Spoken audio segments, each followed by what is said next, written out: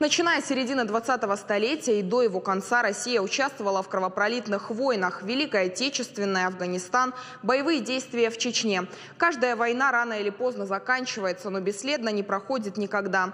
Вот и в семье Семилетовых вторая чеченская кампания оставила навсегда свой жестокий след.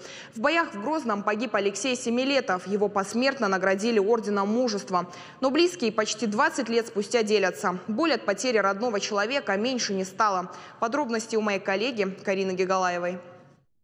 2000 год стал самым страшным для семьи Семилетовых. И тогда, и сейчас, 19 лет спустя, Мария Васильевна не может слышать без слез родное имя – Алеша.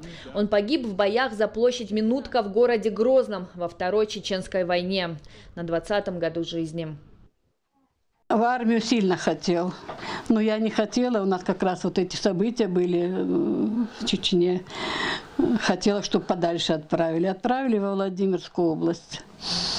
А он оттуда писал, и вот уехал в Чечню. Чечне он воевал в составе 21-й Софринской бригады. Родители узнали об этом за несколько дней до его смерти. 13 января он приехал во Владикавказ и решил все рассказать семье. Алексея они видели тогда в последний раз. 3 февраля его не стало. Алешу накрыло осколками разорвавшихся мин. Он пытался спасти своего командира. Орден мужества Алексею Семилетову вручили посмертно. Вы благодарственные письма получали от командира, то есть он всегда Да, да, да, да, от командира присылал, вот письма есть, да. Ну, есть. Вот каким он все-таки был, расскажите. Все дети, ну, общительные, веселые. У Марии Васильевны и Василия Николаевича 8 детей, 4 девочки и 4 мальчика.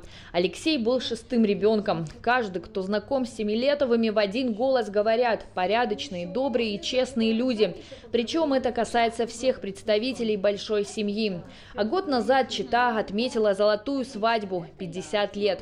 На торжестве все, включая внуков и правнуков, не хватало только одного – Алеши. Ну, Алеша вспоминается очень часто, очень часто вспоминается. Вот. Времена, временами даже э, с мокрыми глазами. Ну, часто. Хороший был братишка. Добрый очень, отзывчивый очень. Всегда помогал. Что не попросишь, во всем помогал. Об Алексее до сих пор тепло вспоминают и в его школе. Он учился в 16-й гимназии. Теперь там есть уголок воинской славы в его честь. А на 73-ю годовщину Великой Победы перед главным входом в школу повесили мемориальную доску с портретом Алексея Семилетова. Герой, так о нем отзываются его учителя. Леша один из тех учеников, которые всегда запоминаются. Замечательный, мы его любили все. Вот по воспоминаниям учительницы начальной школы Ирины Максимовны, она э, говорила всегда о нем так, что Леша это был такой человек, который который во что не попроси, все он всегда сделает. ему даже иногда и говорить не надо было. Память о герое, который погиб, защищая Родину, хранят в фотографиях, в альбоме, в газетных публикациях. Но главное, она хранится в сердцах близких людей, глубоко внутри, там, откуда ее не в силах изъять ни время, ни обстоятельства. Карина Гигалаева, Иван Гутехов, Сергей Дедикаев. Новости о сети.